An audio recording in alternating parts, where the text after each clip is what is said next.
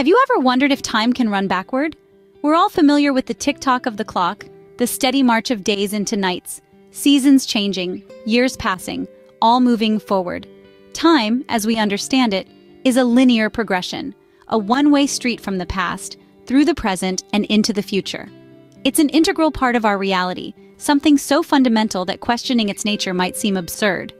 Yet, in the fascinating world of quantum physics, the conventional understanding of time is being challenged. Imagine a concept of negative time, a realm where atoms, in an excited state, return to normal in a duration that, incredibly, is less than zero. It's a puzzle that defies our everyday experience and intuition, an enigma that's as perplexing as it is intriguing.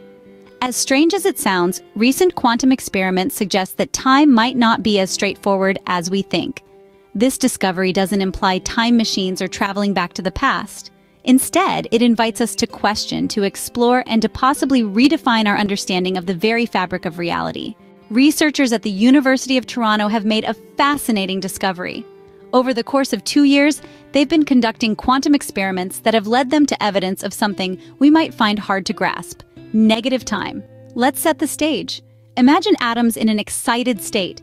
In the world as we know it, these atoms would take a certain amount of time to return to their normal state. But in these groundbreaking experiments, the researchers observed something extraordinary. The atoms returned to their normal state in a duration less than zero. Yes, you heard that right, less than zero. This is what they've coined as negative time.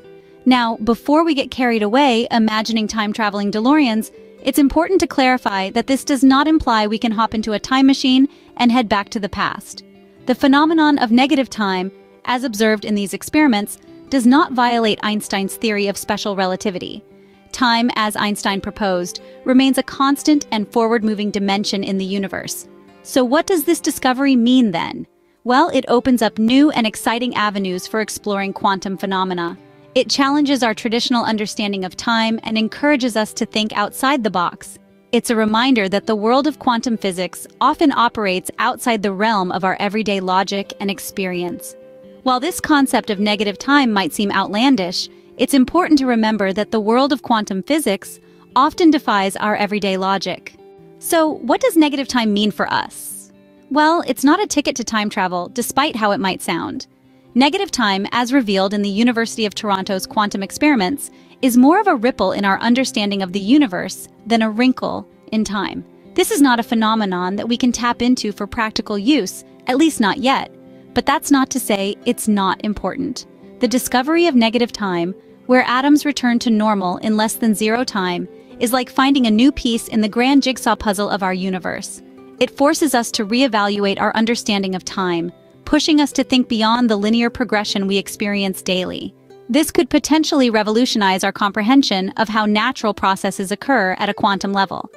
While the concept of negative time may seem abstract and distant from our daily lives, it's these kinds of discoveries that often lead to the most groundbreaking scientific advancements.